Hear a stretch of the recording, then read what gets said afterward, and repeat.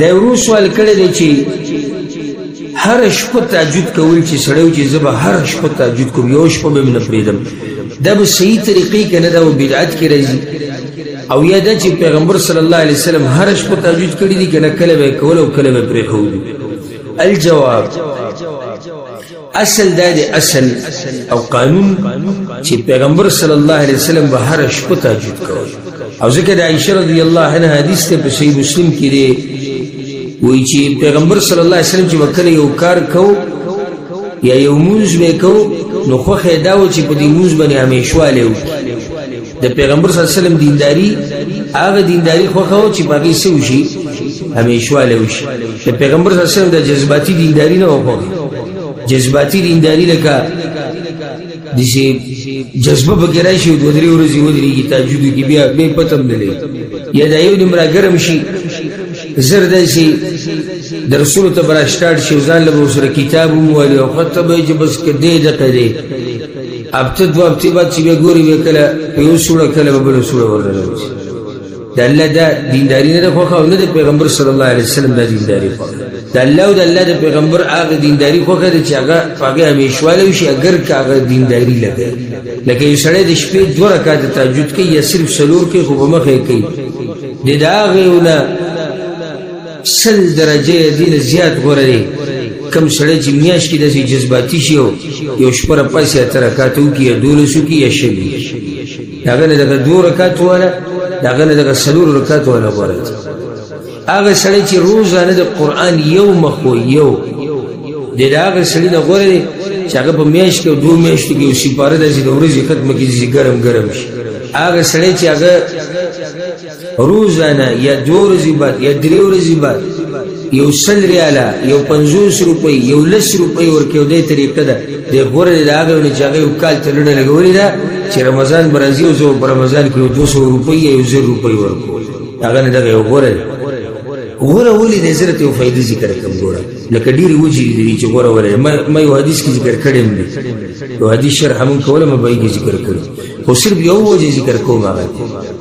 چې دې سړي له مرګ راشي او دیو په دې حال دې سړي له مرګ راشي او دې په دې حال او دا غبل څه پته او جذبه ده راګرم شو اوس پته نشي چې دې وخت مرګ راځي او کله راځي دا عمل عمل همیشه همیشه ولا خو دې نه نو عائشه رضی الله عنها وی دا حدیث دې لپاره وی وی کان اذا غلبه نوم او وجع عن قیام اللیل کله چې پیغمبر صلی الله علیه وسلم د شپې په خوب ضرور شو را پاب نسید تاجود لا یا به بیمارو صلى من من النهار ثنتي عشرة ركعة نو بیا به سحر له د ورځې سبا له د ورځې دولس رکعاته مونږ ولې دولس ځکه چې د شپې به یولس کول د شپې به یولس کول ځکه دا د بعض علماو قول دی چې ویتر د نه پاتې شي نو دا به بیا تاق نه کوي دا به جفت کوي لکه یو سړی د شپې یو رکعت ویتر کوي نو د ورځې به څو کوي دوه چې درې کوي نو څلور چې پنځه کوي نو شپږ ځکه چې د ویتر د شپې او ویتر د ورځې هغه په اختتام کې دی کنه د ماښام د مونځ چې د ویتر نه دغه په اختتام کې دی بس نو د ورځې ته بل ویتر مونځ مه کوئ نو پیغمبر صلی الله علیه وسلم به یولس کول بیا به دولس مقصد زما سو دی حدیث راوړو امین ما دې پر حدیث نه راوړو چې لګ دی چې فاهمې شي ما دې بنیادی مسلې د پر راوړل سم سم دلته استاد جی پر پیغمبر صلی الله علیه وسلم به همیشه قیام الليل دلیل پیدا لري چې عائشه رضی الله عنها وی چې کله به پاتې شو نو به د ورځې قضا یعنی دومره اهتمام نو پیغمبر صلی الله علیه وسلم هر شپه تاجود کړی دی او که چېرته پاتې شوي دي بې د ورځې هغه ورد هغه عدد هغه شمار هغه پوره کړی دی نو هره شپه مونځ کول د تاجودو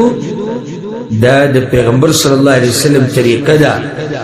او څوک چې په دې باندې عمل کوي الله به لوی اجر ورکړي د تاجود د مونځ او د قیام ده دا ګورې صرف د رمضان په میاشت پورې خاص نه دی ګورې رمضان او غیر رمضان د مسلمان طریقه دا ده چې دی به تهجد کوي نو انسان له پکار دي چې ځان له یو برخه یو ورد هغه وګرځي که هغه لږ وي څه خبره نه هېڅ خبره نه ده هغه دي څه لږ دي خو چې پاتې کېږي دننه څلور رکعته کوه شپږ کوه اته کوه نیمه ګنټه نیمه ګنټه پیلې یاره که نیمه ګنټې له تاسو را پاسېدی که نه نو ډېر څه پکې کولی شي سهار منځه در پسې اذان نه نیمه ګنټه مخکې را پاسې تاجود به کې وشي وی تر به دې وشي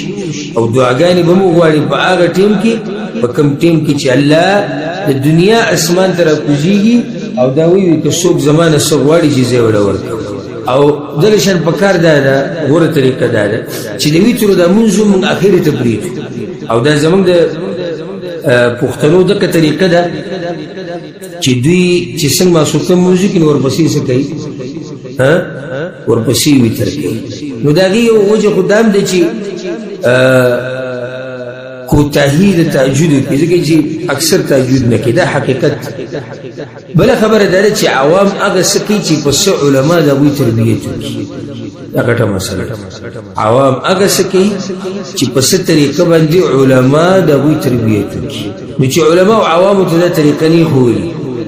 او هغوی ورته هم دا وایي چې بس دې ټیم کې وي تر کوو ډزه ډزه ډزه ډزه ډزه او مولوي صاحب په خپل ځان له هغه هم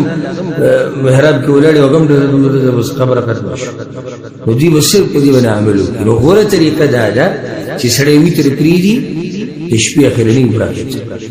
نو دې به د ویتر غم به وسري دې بر پاسي چې را پاسي دی دوه سلو رکعات به وسري تهجد او به ویتر او که څوک په ځان یریږي او نشي را پاسي دې به دې ویتر پاسو تل منځنه بات کی والله اعلم